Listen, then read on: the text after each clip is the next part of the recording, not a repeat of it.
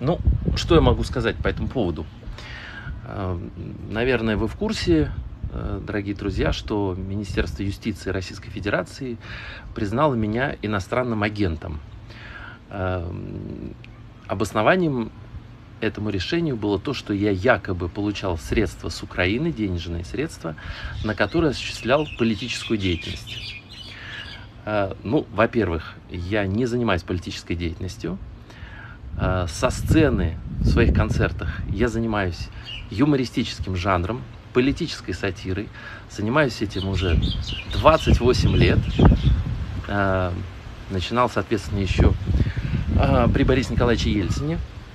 Что и продолжаю делать. Э, это раз.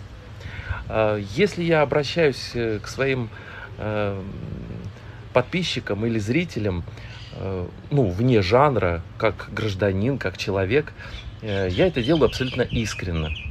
Э, искренне и оставаясь честным перед самим собой. Э, Министерство юстиции. Искренность и честность не оплачивается у приличных людей, к которым я, надеюсь, отношусь.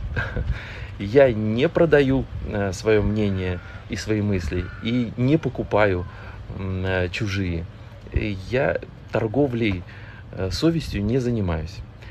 Эм, что касается Украины, то когда-то, ну лет 10 назад, когда я там давал концерты, я деньги получал.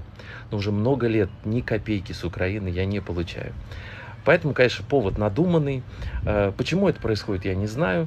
Э, какие цели преследуются, я не знаю от э, жанра юмора и сатиры я отказываться в угоду политической конъюнктуре не буду. Я как раньше шутил над политиками нашими, так и буду продолжать шутить и считаю это нормальным э, и моим э, правом на труд.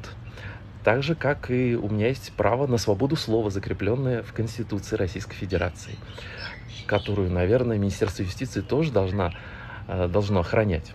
Это нашу Конституцию, где свобода слова записана как исконное право каждого гражданина. 29-й, по-моему, статья. Ну, вам виднее.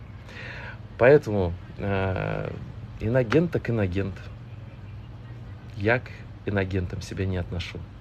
Ну и о приятном. В ноябре у меня будут концерты в Литве. 10 ноября я выступлю в Вильнюсе, 11 ноября в Шауляе, 12 э, ноября в Клайпеде и 14 ноября в Каунасе. Вильнюс, Шауляй, э, Клайпеда и Каунас. До встречи, дорогие мои зрители.